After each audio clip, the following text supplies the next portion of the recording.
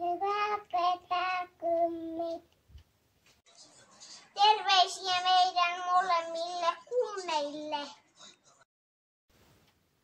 Hyvää ketää meidän Matti ja Moikka Paavon kummit.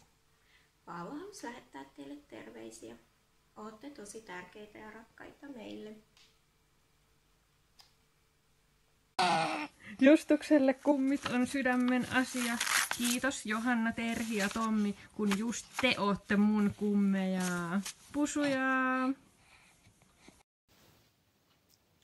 hyvää kesää kummeille.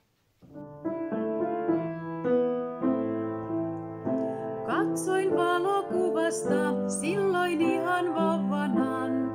Itselleni kummit sain. Kastejuhlapäivänä isän äidin vieressä. Kummit vain. Siunaten rukoilen pyytäen. Kummit. Siunaten rukoilen elämässä muistaen ystävät.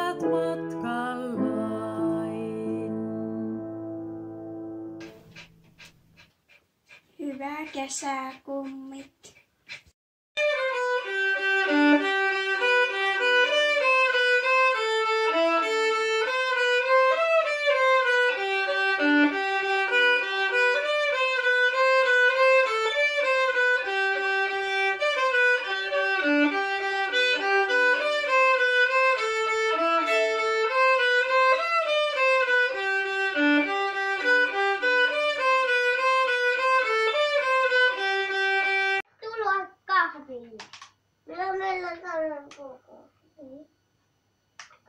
Tervetuloa kahville.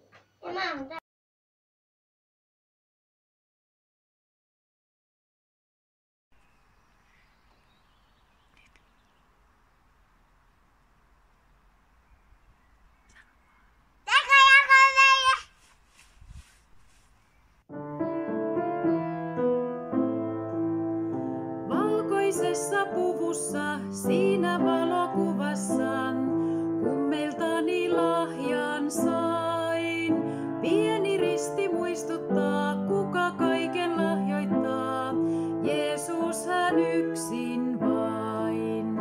Siunaten rukoilen, enkeleitä pyytäen.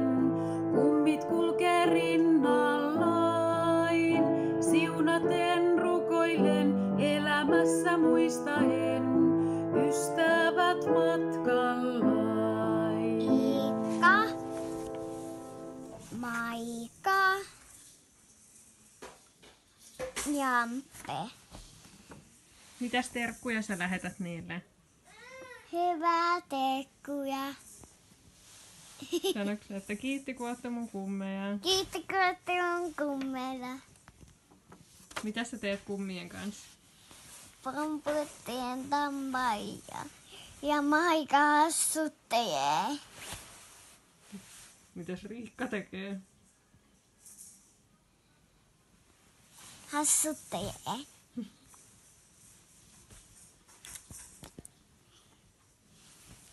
Okay, bye.